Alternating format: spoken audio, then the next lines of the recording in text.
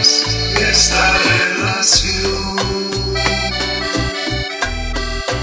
como que no? Y ahora te deleitas en, en su presencia.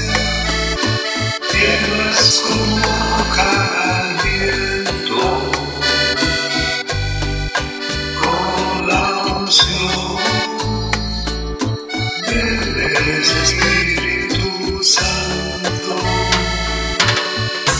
Aceptar a Jesús.